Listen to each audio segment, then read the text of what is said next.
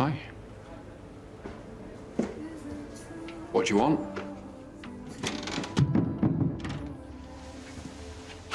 I owe you an apology. I'm sorry. I let you down today. I let myself down today. This is still all very new to me, and I just need you to know that I am trying. It's fine. No, it's not. I know that today meant a lot to you, me meeting your mum. Okay.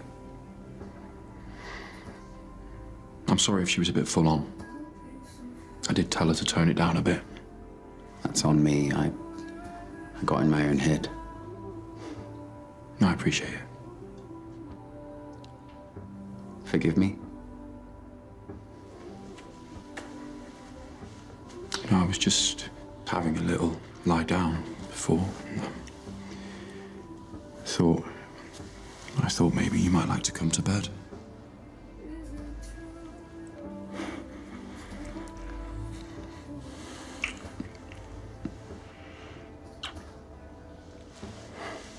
That's better. Alec, I really appreciate you coming round here and explaining everything to me. It means a lot, truly.